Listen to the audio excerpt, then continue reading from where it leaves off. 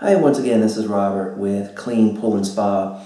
And this video, I want to talk about uh, or answer the question, why is my pool cloudy after I add sodium bicarb?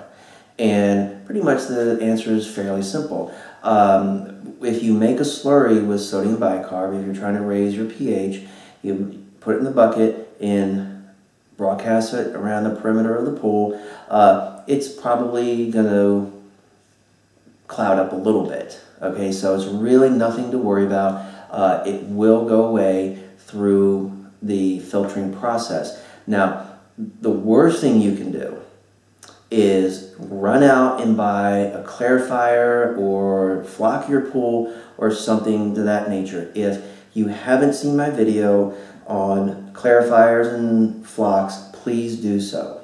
Okay, so don't worry about it. Now, if you over adjusted and you put too much sodium bicarb in there, then just wait for one full turnover of the water, normally about 10 to 12 hours. Go ahead and retest, and you may need to make an adjustment using acid okay? But if all of your readings are good and you're just trying to maybe increase your pH a little bit using sodium bicarbonate, all of a sudden, you know, it's a bit cloudy, don't worry about it, just keep filtering. Um, again, allow for one full turnover of the water, about 10 hours, and then go ahead and retest and um, make another adjustment if needed. And that's it. Please check out my website in the description box, cleanpoolandspa.com. Lots of great information over there. So like, subscribe, comment here.